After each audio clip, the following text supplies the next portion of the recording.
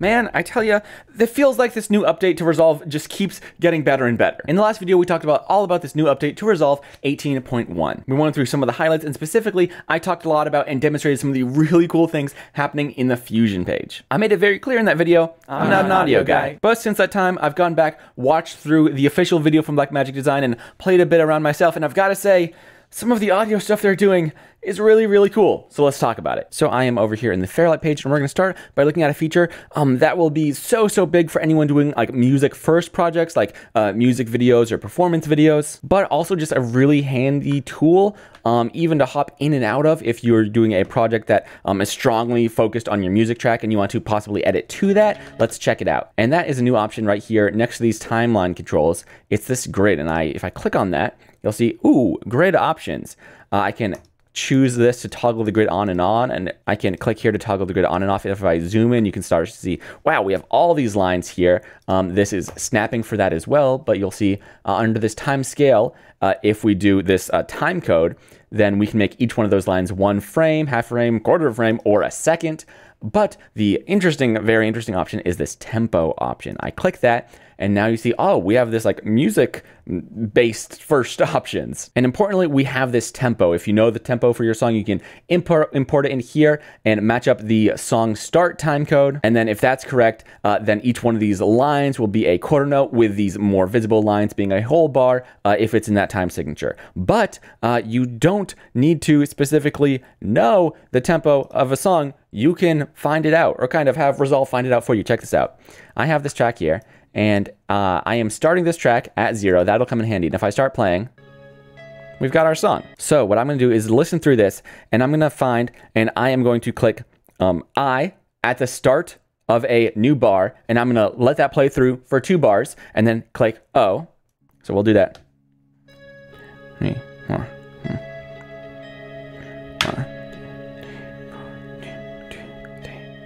one. Got it. So now I have this. I can right click and go to set tempo grid BPM. It'll pull up this new thing, how many bars. Uh, I knew I was recording two, so I'll do that. Uh, click start from playhead. I'm going to uncheck that um, since I uh, organized this so the song is starting at zero. I will set tempo from range. And then now if I clear out those in and out points, you can see we have these bars. They might be a little hard to see. They're down here. And you'll be able to see that each of these uh, dimmer bars will be one beat and uh, these uh, slightly more visible bars will be one measure. And it, it just like follows along so well. Ooh, and remember we had an option here for snapping. So snapping is on. So I have some sound effects over here. And if we want something to come on like perfectly on the beat, then we can just drag these to any of these thicker lines.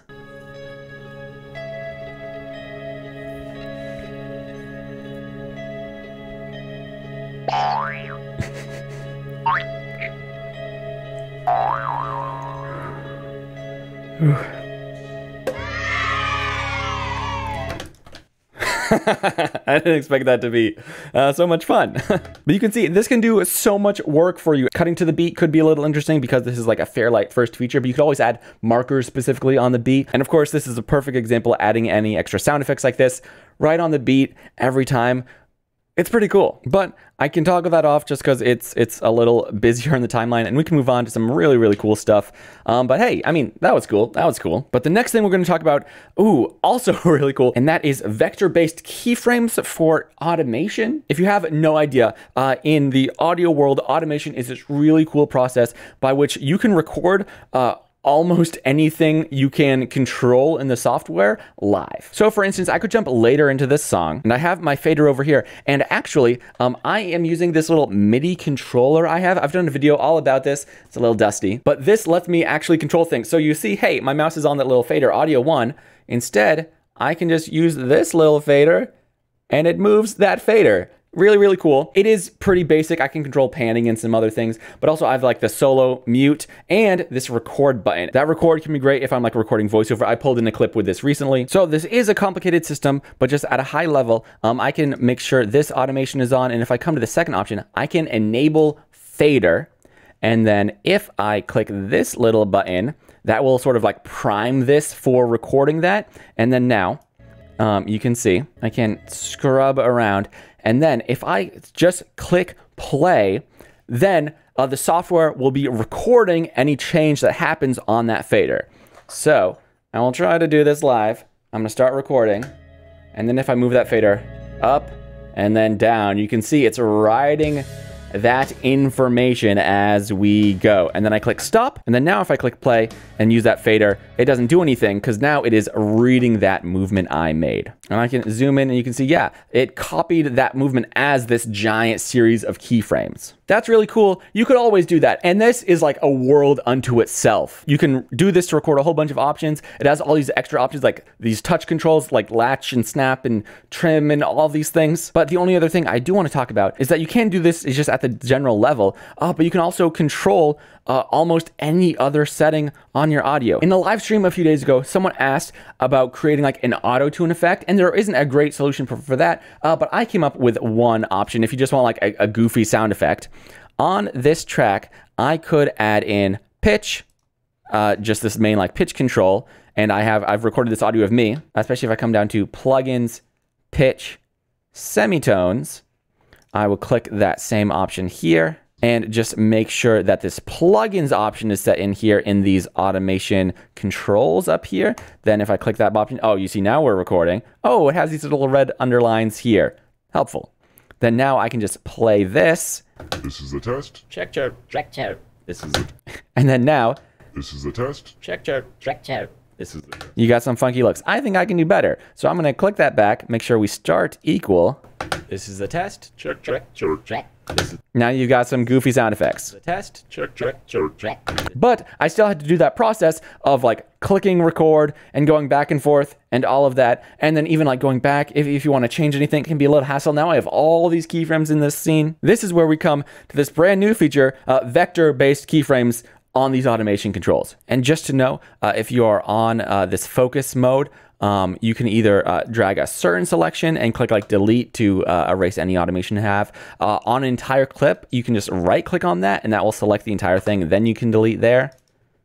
Oh, or double click it looks like. Cool. But now, check this out. I've redone all that, and it was kind of a hassle to grab that little fader and go back and forth live while we were listening to it over again. But on this uh, drop down where I selected this parameter, we still have this. Oh, I can come back to this effect, make sure we are at zero, starting there. Test. Check, check. Yeah, yeah. And then back here, I can just click on this line. I'm holding Alt to uh, get this little pop-up of this check bar, but now I can click that and just click through, add a whole bunch of points, and then now drag any of those back and forth and like you don't need to do that priming you don't need to do that recording um this is just like using keyframes here in like a completely uh really really powerful way so now This is a test. Check, check, check, check. So, hey, you got it. and this can be so powerful because you can add these keyframes here for almost anything you can do. You can control your EQ or compression or your overall level uh, just with like, with a few clicks. And that's really valuable because, you know, there isn't that like keyframe button over here in any of the settings. You do it right on the track. And you can always come back in here, add more points. Like if I wanted this to be a little more stair steppy, then like I could just do that. Again, uh, automation in general is something I've only like really dabbled in the past. I'm sure there's a lot more power here than even I But the last feature we're going to look at, I'm pretty sure this is a new feature. They showed it off in the video.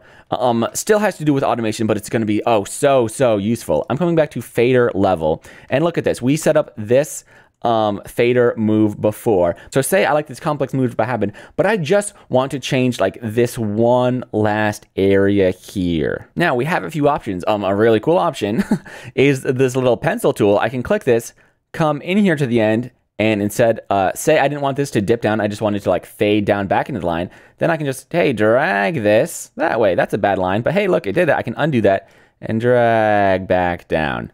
Cool. That is actually an incredible feature. I'm pretty sure that's been in there for a little bit. Uh, but the setting we are going to look at, I am going to set keyframes here, there. I'll mute that for now. Just to the end of this out, I'm going to right click and I'm to come down to automation active range. I will click that and it goes red. And then now, if I click this little button to prime the track, if I come back before that and I start playing, what you'll remember, hey, we've primed this. We are uh, supposed to be recording that new automation. But if I play really quick, I have muted this, but if I play, I'll pull up my little thing here. if I'll come back quite a bit. If I play and start moving this fader, you'll see that line is moving, but it's not writing any new keyframes. But if we keep going and uh, we just wait till it gets to that right zone, then as soon as it hits there, we'll be able to write those new keyframes back. And again, after that red zone is done, uh, it doesn't matter. It's not writing anymore. Its job is done. And then we stop and it writes those new keyframes in its place. This is super, super cool. It also has some like uh, punch in features, which is a thing I don't understand because I'm not an audio guy. But this alone, if you have this dynamic automation, especially uh, for stuff like this, and you've done all this work, you've nailed all your timing, um, you've done these complex fader moves, but there is just this one place where you wish you could redo it. You don't want to have to go through the hassle of nailing all that right the first time. So just set this active zone just for the part you want to record, and then you can even move that fader, get it in the perfect position, and then once it's into that zone, you are now recording. Once it's out, you're done. Ooh, it's cool. Yeah, this is some pretty uh, relatively niche audio stuff, but really, really powerful tools that are part of this amazing free, ah, it's free software. I'm sure there might be a fair number of you who have never even used this automation tool at all, and just knowing about this is interesting or exciting in itself. Um, and then all these new tools on top of that are just you know, everything's new, but this is especially new. Of course, there are even more Fairlight features, but these are the ones that I caught my eye that, you know, I was in a spot to understand. So I hope I've communicated them to you. Um, this is really cool. Uh, I'm probably still going to be spending a whole lot of my time in Fusion doing that, presets and templates and all of that. But for the times I need to jump into Fairlight, um, especially uh, doing stuff to music, that whole system, really, really cool. This will be a big help. Thanks for watching. I'll see you next time.